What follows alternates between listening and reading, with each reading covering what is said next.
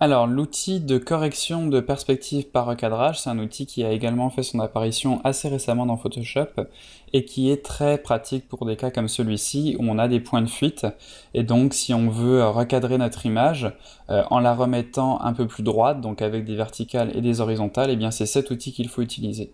Alors la démonstration, je vous la fais tout de suite. Donc là, par exemple, vous voyez qu'on a des droites qui ne sont pas vraiment euh, verticales et horizontales. Pour le prouver, je vais cliquer ici et glisser pour faire des nouveaux guides. Alors pour faire apparaître les règles ici, c'est le raccourci CTRL R.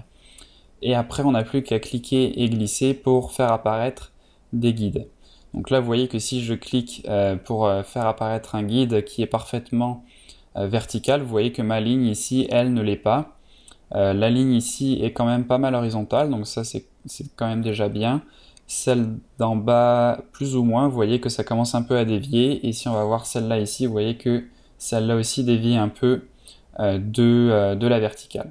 Donc on va remettre tout ça euh, bien vertical et horizontal avec l'outil. Donc là, pour enlever les guides, je clique, je glisse, et je les glisse en dehors de la zone de mon écran, et vous voyez que les guides disparaissent.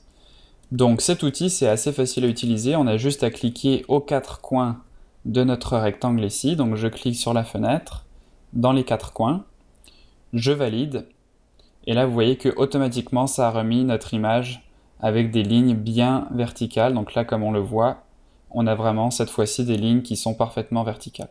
Donc c'est très pratique par exemple quand on veut donc euh, éviter d'avoir des points de fuite assez, euh, euh, évidents comme celui-ci. Donc je peux le faire sur une partie plus, plus, plus grande également. Donc en essayant de euh, faire euh, des droites qui correspondent à mes perspectives.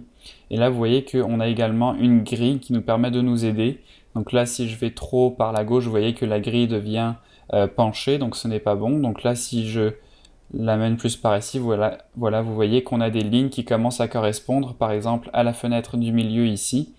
Donc regardez bien cette fenêtre au milieu et essayez de faire correspondre les lignes de votre grille avec cette fenêtre. Donc là, ça a l'air pas mal. Je valide. Et là, vous voyez que toute notre façade va revenir beaucoup plus euh, droite. Ici, on a des options pour spécifier la taille finale de notre image. Donc là, euh, si je mets par exemple une taille de 10, alors attention, de 10, voilà, par 10, alors là c'est en centimètres. Donc si je mets 10 cm par 10 cm et que je refais ma sélection ici, vous allez voir que l'image finale, donc si je fais CTRL ALT I, donc raccourci clavier qui nous permet d'afficher la taille de l'image, je peux aussi euh, y aller euh, par le menu image, taille de l'image, donc là vous voyez le raccourci ALT CTRL I.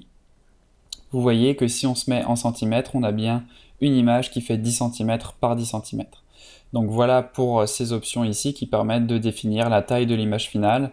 Si je clique sur image premier plan, ça va automatiquement paramétrer ces longueurs ici pour correspondre à mon image actuelle. Donc là, si je fais CTRL ALT I et que je me mets en centimètres, vous voyez qu'on a bien 182 par 121 qui correspond bien donc aux mesures qu'on a ici.